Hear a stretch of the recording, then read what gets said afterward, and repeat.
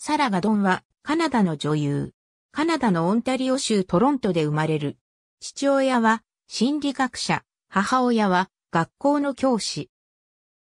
兄のジェームズがいる。主にトロントで育つ。カナダ国立バレエ学校やクロード・ワトソンスクール・フォ・ザ・パフォーマンス・アーツなどに通い、トロント大学、イニスカレッジシネマ研究プログラムで学ぶ。1998年、10歳の頃から役者として活動を始め、カナダのテレビドラマ、ニキータでデビュー。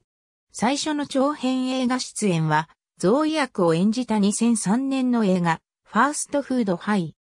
テレビドラマ、ビーイングエリカに、計14話出演したのをはじめ、アナザーライフ天国からの3日間、ライフウィズデレク、フラッシュポイント特殊機動ダイザルーマイナス、マードックミステリー刑事、マードックの捜査ファイル、といったカナダのテレビドラマを中心にそれぞれ出演を果たす。2009年にアメリカ合衆国ディズニー XD、アーロンストーンに出演した。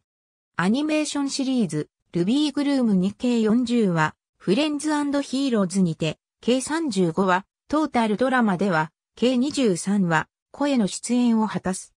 カナダの映画監督、デビッド・クローネンバーグ作の2011年公開映画、危険なメソッドに、エマ・ユングとして、2012年には、コズモポリスで、エリーズ・シフリン役、2014年のマップ・トゥ・ザ・スターズに、クラリス・タガート役で、同監督作品に3作連続で起用された。2011年に公開されたメアリー・ハロン監督のホラー映画、モス・ダイアリーで、ルーシー・ブレイク役で、出演、2012年、デビッド・クローネンバーグの息子、ブランドン・クローネンバーグが監督を務めたホラー映画、アンチバイラルでは、ハンナ役で主演した。ありがとうございます。